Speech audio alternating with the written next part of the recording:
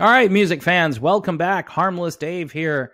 Well, out of my lane, but talking about what happened to uh, Matthew Perry in this episode. And of course, doing so in real time for a few real people out there, uh, just like you and just like me. So, uh, yeah, hanging out last night and uh, getting all these notifications about Matthew Perry. I get friends paraphernalia all over my house. All right. I've got um, I've got coffee mugs. I've got soup bowls. I've got uh, wooden placards. Um, so yeah, yeah, it's a show that I really enjoy, and I don't agree with all of what happened on that show. There were some events on there that happened during the 90s that were a little edgy, uh, a little crazy by today's standards. Um, probably not, but uh, even in hindsight, uh, there's stuff that was said and uh, done on that show that I don't necessarily agree with. But the comedy genius of Matthew Perry can't really be argued with uh, all that much. So let me take a look at um, what happened here in a little detail because it seems a little unclear. So um, you Google this. How did Matthew Perry die? What was his cause of death? Um, his cause of death was associated with apparent drowning. Apparent drowning. Now, 54 years old. I think it was said that he has a jacuzzi. I'm not sure if he has a swimming pool. I imagine that he has enough money to have uh, several swimming pools and maybe a few different jacuzzis. Um, TMZ, uh, TMZ, by the way, is becoming like the source for breaking news ahead of so called real journalism outlets, which should be concerning for most people. But because here's the deal um, it seems like there are gatekeepers that work for the big news organizations. Um, I'm going to say something about Matthew Perry, uh, thanks to my friend Tony, who sent me this picture. And uh, it has uh, Matthew Perry wearing this t shirt probably a couple of years ago. Essentially, his catchphrase, um, which is, Can I be anymore? Or can you be anymore? Whatever, um, in that sarcastic way that Matthew Perry would deliver that line. But the punchline is vaccinated. All right. And that's what the t shirt, and I'm sure these t shirts probably sold out. So you do need to kind of just have that uh, in the back of your mind. I'm not saying that's the problem here, but an apparent drowning. Now he's an adult. I'm thinking he knows to not drown, right? I'm sure he's been swimming before. Uh, apparently, there were no drugs or alcohol present. So there was no foul play. Um, and when you look at these headlines, they they just look not I, I would just say very incomplete and very curious. So TMZ again breaks this news. The LA Times, I guess, followed up and was verifying.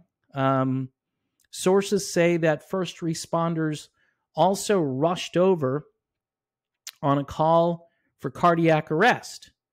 It's unclear where exactly on the grounds this happened.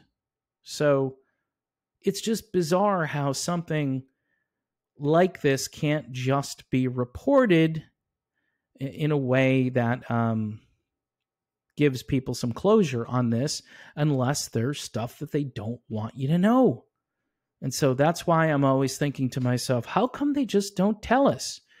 Again, uh, this is according to TMZ, who apparently are the only ones doing any reporting, uh, Perry was found in a jacuzzi at his own home.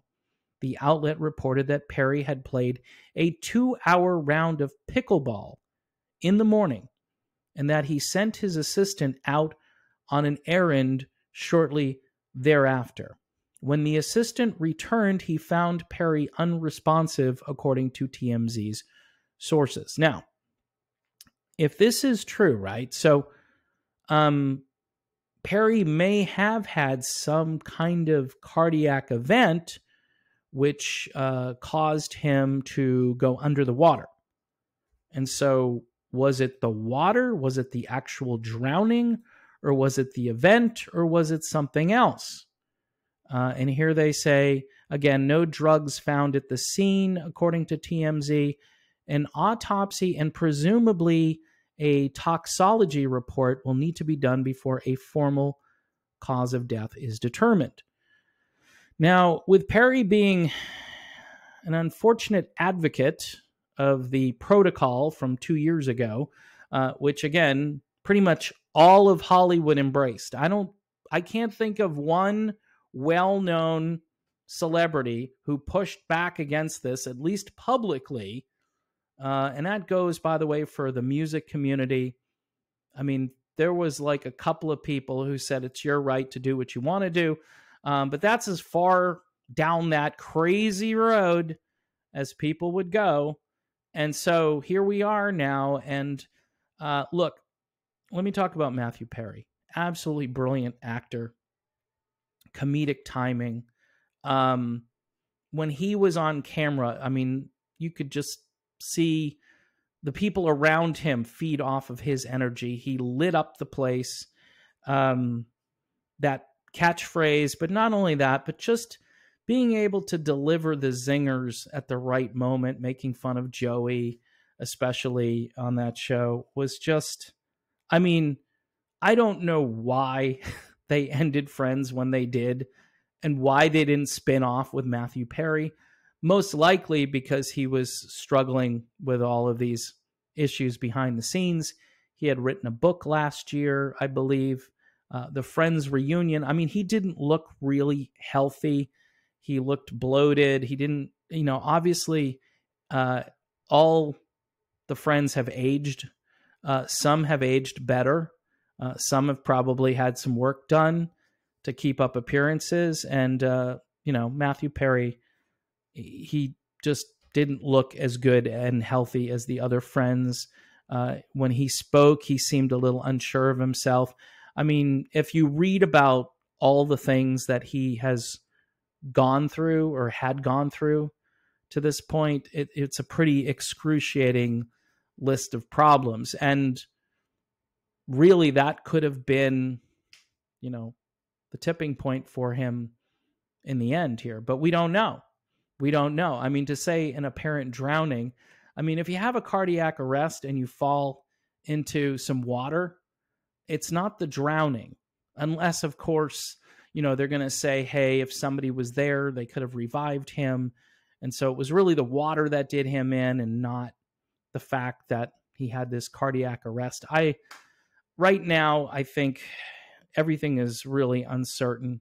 And uh, will we ever know? I'm thinking with Matthew Perry, you're probably going to need to know. Um, just because so many people care about the guy, I know it doesn't matter at this point because he's not here anymore. It just sounds very unnecessary. It, it sounds like it should have never happened. Uh, some people take a 30,000 foot view of this and say it was Hollywood that did this to Matthew Perry. Hollywood did it to him. You know, the fame did it to him. Um, not being grounded and not having your priorities, um, that did it to him you know, if you want to get all philosophical. Um, but he was a funny guy. He was he was really talented. And if you're having a bad day, you put on a couple of friends episodes and typically that will snap you out of the funk you're in. You know, there are not a lot of high entertainment value things you can do just watching television, which a lot of people do mindlessly, but with friends, yeah, it's kind of mindless entertainment, but it, I don't know. Those guys just had this chemistry.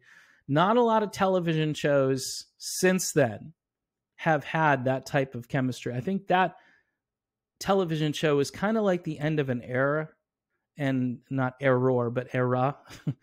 and, you know, Friends was great. Cheers was great. There were a lot of shows from the 80s and into the early 90s. I was a big fan of the show Home Improvement.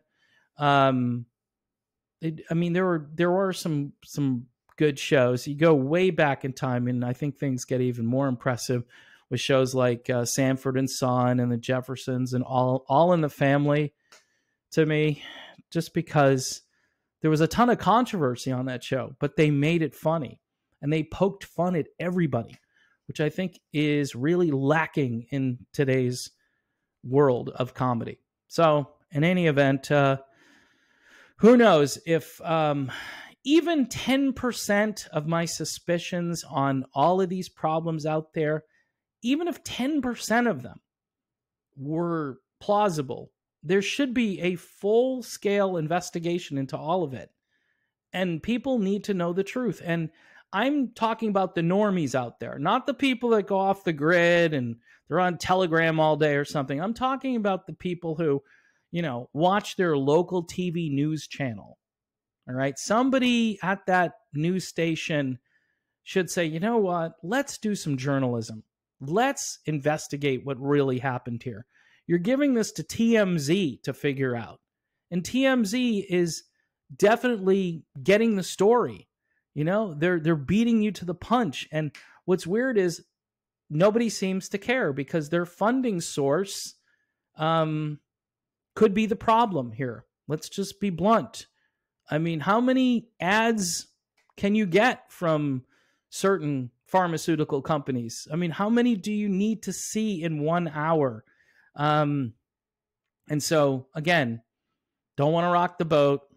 Don't want to say anything. Everything's fine, safe and effective. Let's just not even th- these two things, Dave, they don't even go together. I don't even know why you're going there. I'm going there because he had the t shirt. Okay. Um, I will put the t shirt picture, if I can get it, into the thumbnail of this video. In the meantime, folks, if you can support this channel, all right, I, I've had a couple of days to really think about things.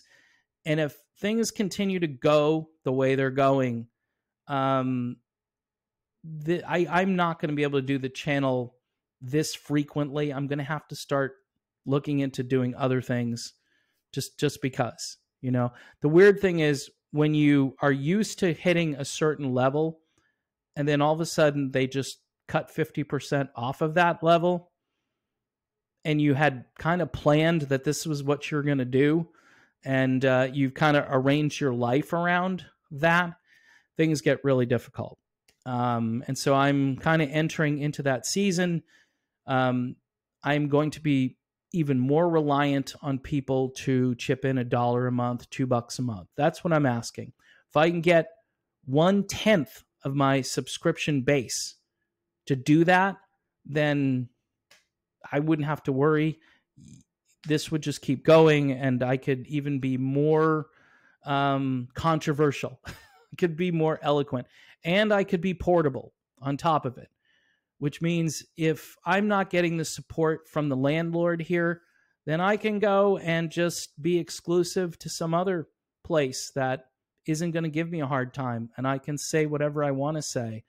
And uh, I don't have to jump through hoops. You should see this survey they made me take over here, which I, I felt like I needed to take a shower after I took the survey um, because it was just I don't know. It's it's like, will you please compromise your principles um, and answer these questions?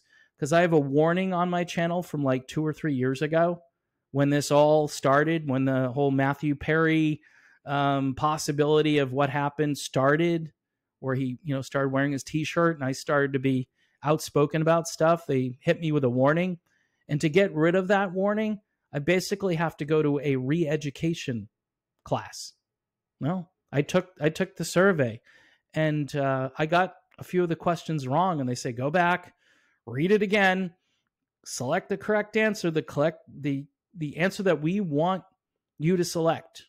All right, and then even if you disagree with it, in order to pass this and have this warning taken off your record, this is what you have to do. It's like bad driving school, is what it is. So any event, people, um, that's all I got for you. If you can support the channel, please help me out. And in the meantime, um, it's it's sad. Matthew Perry was super iconic, and um, there should have been more friends. It just the show ended too soon, and it should have gone on longer. And I don't know, Matthew Perry, I guess, wasn't capable because of his physical, uh, spiritual, and uh, substance abuse condition to to do more with his life. But uh, it looked as though he was turning things around, and that's what is really tragic about all of this. So I'll leave it there. God bless everyone. Pray for peace all over the world. Let's just pray for peace, regardless of where you stand on the war and who you side with. Uh, best thing you can do is pray for peace. See you soon.